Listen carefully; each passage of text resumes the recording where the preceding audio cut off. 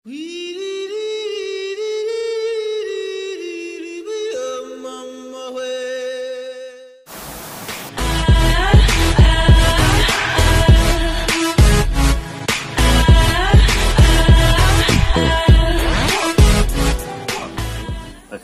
kami dari kelompok 4 penganggaran bisnis yang akan bisnis plan usaha Taiti. Baiklah, perkenalkan nama saya Nizamuddin bin Usman. Perkenalkan, saya Meni Anjarwasi. Perkenalkan, saya Nimas Piliana. Saya Muhammad Ardil Hatami. Perkenalkan, saya Pradita Sari Putri. Ini nama saya Yunita Sari. Di sini saya akan mempresentasikan isi dari bab 1 proposal bisnis plan usaha Taiti.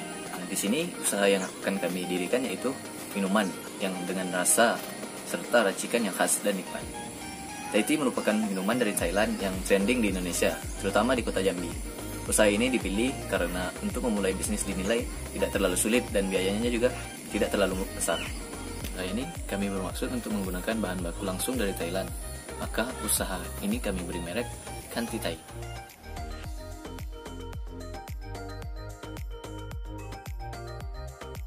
saya akan menjelaskan tentang deskripsi produk, lokasi, waktu operasional, serta strategi pemasaran yang kami gunakan untuk produk kami. Yang pertama adalah deskripsi produk. Thai Tea merupakan usaha yang bergerak di bidang minuman. Teh ini berasal dari teh Thailand. Uh, serta produk kami kami beri nama Kantea Thai. Produk kami juga pengemasannya menggunakan uh, cup plastik agar lebih mudah dan efisien. Lokasi yang kami gunakan untuk memulai usaha kami yaitu di Jalan Arif Rahman Hakim atau yang lebih tepatnya di depan Unjat Lanai, Kota Jambi. Kenapa kami memilih lokasi tersebut? Karena mengingat banyaknya masyarakat serta mahasiswa UIN maupun mahasiswa UNJA yang hilir mudik melewati jalan tersebut dan dirasa sangat strategis untuk menjual produk kami. Waktu operasional yang kami terapkan di sini adalah mulai dibuka pukul jam 11 siang hingga jam 22 atau jam 10 malam. Nah, di dalam produk kami ini, kami menerapkan strategi pemasaran dengan lima cara. Yang pertama, yaitu dari mulut ke mulut. Bagaimana sih e, promosi dari mulut ke mulut ini? Operasional dari mulut ke mulut adalah dengan bercerita kepada teman atau keluarga maupun kerabat untuk mempromosikan usaha kita agar uh, usaha kita lebih dikenal masyarakat dan secara tidak langsung masyarakat akan lebih mengetahui tentang produk kita tersebut. Nah, yang kedua adalah segmenting. Segmenting ini adalah membidik pasar dari semua kalangan, mulai dari anak-anak, remaja, dewasa, hingga masyarakat sekitar yang dekat dengan lokasi penjualan kami. Nah, yang ketiga adalah targeting. Target kami dalam penjualan Taiti ini adalah kepada masyarakat sekitar uh, ataupun teman-teman kampus, baik itu dari Unja ataupun UIN dan uh, para pegawai instansi setempat atau sekedar masyarakat yang ingin hangout di lokasi tersebut. Nah, yang keempat yang tidak kalah penting adalah media pemasaran.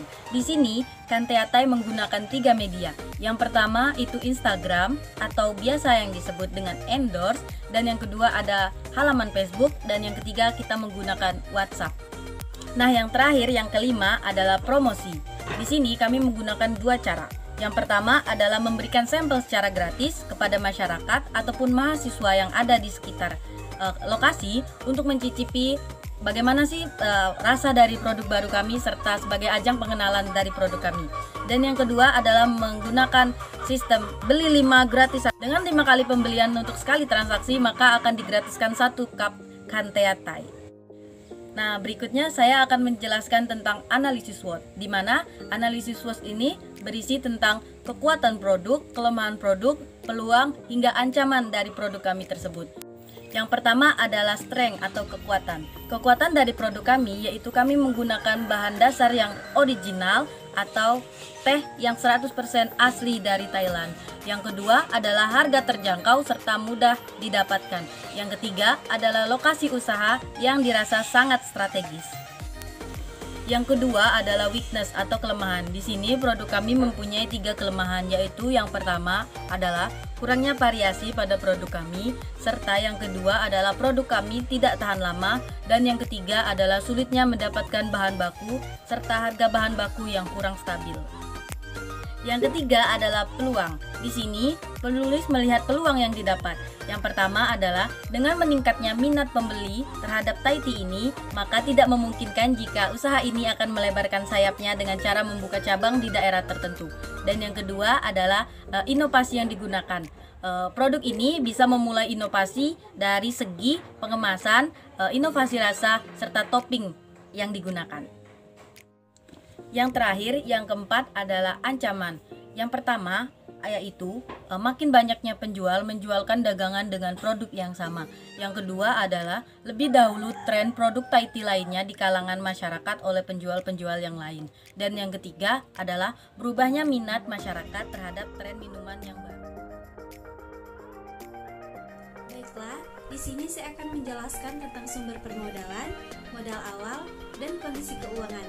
Di mana keuangan itu terbagi menjadi tiga aspek. Yang pertama itu ada rencana produksi, yang kedua biaya variabel, yang ketiga ada biaya overhead.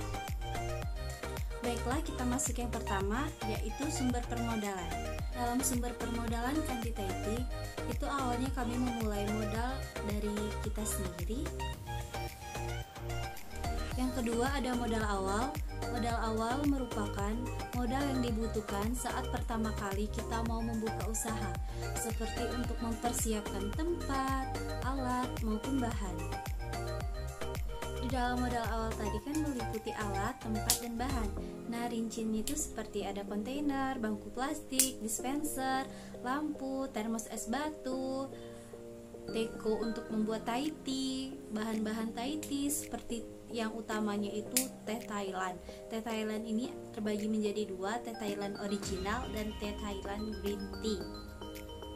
Seperti gambar di atas. Baiklah, yang ketiga itu ada kondisi keuangan, di mana yang pertama itu adalah rencana produksi. Rencana produksi merupakan aktivitas untuk menetapkan suatu harga dan menetapkan produk yang akan diproduksi. Nah, di dalam usaha kita ini, kami memiliki beberapa varian rasa. Di antaranya ada Thai tea original, green tea, Thai tea Milo, Thai tea Ovaltine, Thai tea red velvet, Thai tea tiramisu, Thai tea vanilla, taro, Thai tea hazelnut, Thai tea Milo. Yang kedua, biaya variabel. Biaya variabel merupakan perhitungan biaya bahan baku untuk memproduksi 55 cup Thai tea. Nah, di dalam biaya variabel untuk memproduksi 55 cup ini memerlukan power drink sebanyak 1 kilo, gula 1 kilo, cup 55, susu 7 kaleng, creamer 1 kilo, es batu 2 plastik kristal. Baiklah, yang ketiga itu adalah biaya overhead. Biaya overhead merupakan biaya yang tidak bisa dikaitkan dengan produksi dalam suatu produk. Yaitu seperti di dalam quantity ini biaya overheadnya itu seperti membayar sewa gedung. Karena quantity ini masih menyewa gedung jadi setiap per bulannya itu dikenakan biaya 450.000 perkiraan pengeluaran. Jumlah modal yang mencakup powder drink, gula, cup, susu, creamer, dan es batu yaitu dengan total anggaran sebanyak 210.000. Dengan anggaran sebanyak itu mampu untuk memproduksi sekitar 55 cup tea. Dengan rumus menghitungnya yaitu harga pokok penjualan sama dengan modal dibagi jumlah produksi yaitu 210.000 dibagi dengan 55 cup yaitu dengan jumlahnya 3.818 rupiah pengeluaran pokok untuk setiap cup Thai. Perkiraan pendapatan. Target untuk satu hari 30 cup pendapatan per hari yaitu untuk tea original 18 cup dikali 10.000 sama dengan 180.000 untuk green tea yaitu 12 cup dikali 10.000 yaitu 120.000 ditambah semuanya menjadi 300.000 per bulan untuk pendapatan per bulan yaitu 30 hari dikali dengan 300.000 sama dengan 9 juta dan pendapatan per tahun yaitu 12 bulan dikali 9 juta yaitu 108 juta rupiah. Perkiraan laba rugi total penjualan untuk target 900 cup per bulan yaitu 9 juta rupiah. Jadi total pendapatan kotor itu sekitar 9 juta rupiah per bulan. Biaya produksi 900 cup per bulan yaitu biaya variabel seperti biaya bahan baku dan biaya pendukung. Itu cara menghitungnya 3.818 rupiah dikali 900 cup sama dengan 3.436.200 rupiah. Kemudian biaya tetap per bulan yaitu 720.000. Cara menghitung laba ruginya sendiri yaitu dengan cara total per bulan untuk 900 cup dikurangi dengan biaya produksi, biaya variabel, dan biaya tetap yaitu 900.000 dikurangi 4.156.200 sama dengan 4.843.800 Di sini saya akan menjelaskan mengenai analisis break even point atau BEP. Yang pertama, pengertian break even point atau BEP.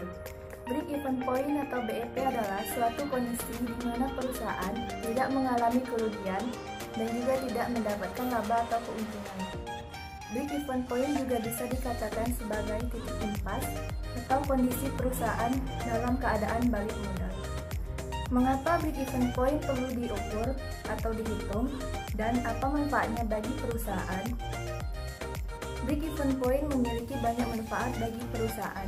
Yang pertama, perusahaan dapat mengetahui jumlah minimal produk yang terjual agar perusahaan tidak mengalami kerugian. Yang kedua, perusahaan dapat mengetahui minimal penjualan yang harus dipertahankan agar perusahaan tidak mengalami kerugian. Yang ketiga, untuk mengetahui efek perubahan dari harga jual, biaya, dan volume penjualan terhadap laba yang diperoleh suatu perusahaan. Di sini saya akan mencoba menghitung break even point atau BEP dari usaha Taiti yang ada di proposal kelompok kami.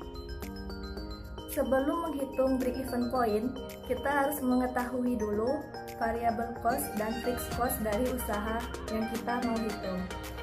Yang pertama fixed cost atau biaya tetap adalah biaya yang, yang jumlahnya tetap meskipun usaha sedang tidak berproduksi seperti biaya tenaga kerja, biaya sewa, dan lain-lain. Sedangkan variabel cost atau biaya berubah-ubah adalah biaya yang jumlahnya meningkat seiring dengan meningkatnya jumlah produksi, seperti biaya bahan baku dan lain sebagainya. Di sini, Total fixed cost usaha Taiti terdiri dari yang pertama, biaya sewa selama satu bulan, yang kedua, biaya air galon selama satu bulan, yang ketiga, pembelian pipet, yang keempat, pembelian asoy, yang kelima, pembelian cup beserta tutup, yang keenam, Taiti Thailand merah, dan yang ketujuh, Taiti Green Thailand. Jadi total Fixed cost usaha Taiti yaitu sebesar 720.000. Sedangkan biaya variabel usaha Taiti yaitu terdiri dari biaya bahan baku per cupnya yaitu 3.818. Jadi, rumus BEP rupiahnya yaitu fixed cost dibagi harga penjualan per unit dikurang variable cost dikali harga jual per unit. Fixed cost usaha Taiti yaitu 720.000, harga jualnya 10.000 dan biaya variabel costnya yaitu 3.818. Jadi BEP rupiah 720.000 dibagi 10.000 dikurang 3.818 hasilnya 1.170.000. Jadi BEP rupiah usaha Taiti yaitu 1.170.000. Sedangkan BEP unit yaitu rumusnya total fixed cost dibagi harga jual per unit dikurang variabel cost. Total fixed cost usaha Taiti yaitu 720.000, harga jualnya 10.000, biaya variabelnya yaitu 3.818. BEP unitnya yaitu 720.000 dibagi 10.000 dikurang 3.818 dapat hasilnya 117 unit. Artinya, usaha Taiti untuk mencapai kondisi break even point harus menjual sebanyak 117 cup Taiti dengan jumlah penjualannya 1.170.000. Pada hari atau bulan keberapakah modal awal bisa didapatkan?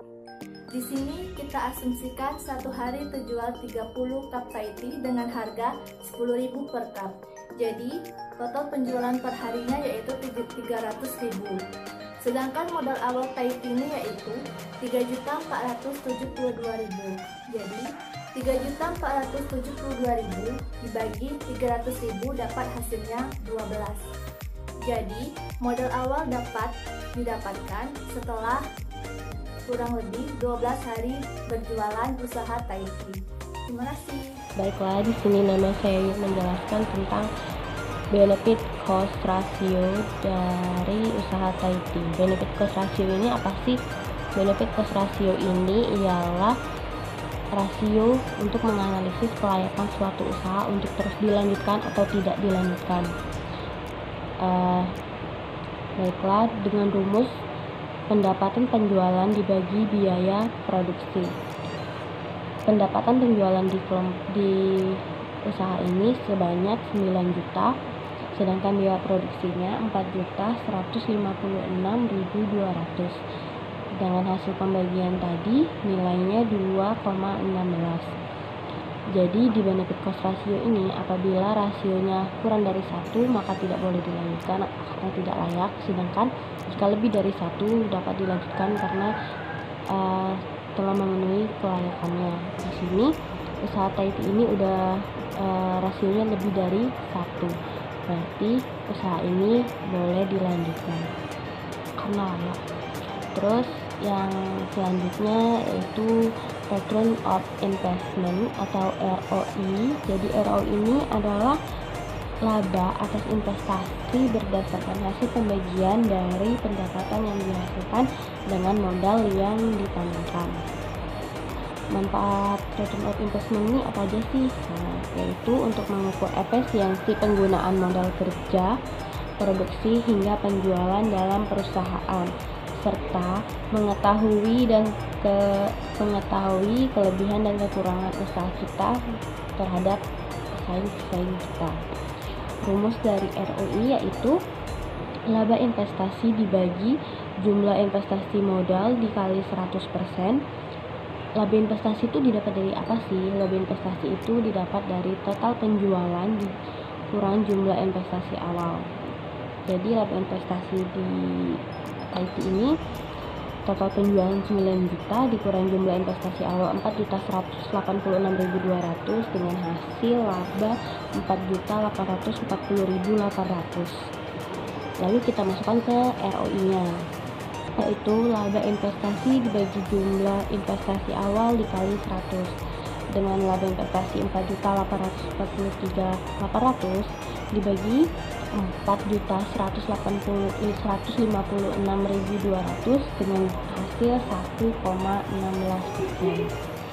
Jadi 1,16 persen ini adalah laba eh, adalah hasil dari ROI Taiti ini. Lalu pada saat kapan sih usaha tersebut mengalami uh, keuntungan? Jadi berdasarkan perhitungan BEP yang telah dilakukan pada hari keempat akan mengalami BEP dan pada hari kelima mengalami keuntungan. Terima kasih. 1,16% ini adalah laba eh, adalah hasil dari ROI Taiti ini. Lalu pada saat kapan sih usaha tersebut mengalami uh, keuntungan? Jadi berdasarkan perhitungan BEP yang telah dilakukan pada hari keempat akan mengalami BEP dan pada hari kelima mengalami keuntungan. Terima kasih.